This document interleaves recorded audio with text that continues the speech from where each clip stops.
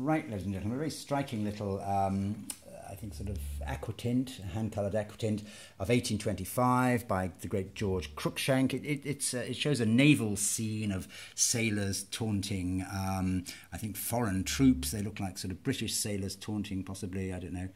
Um, the scene doesn't look very English, I'm not sure. Anyway, there we are. Jack Tars having a good time taunting the militia.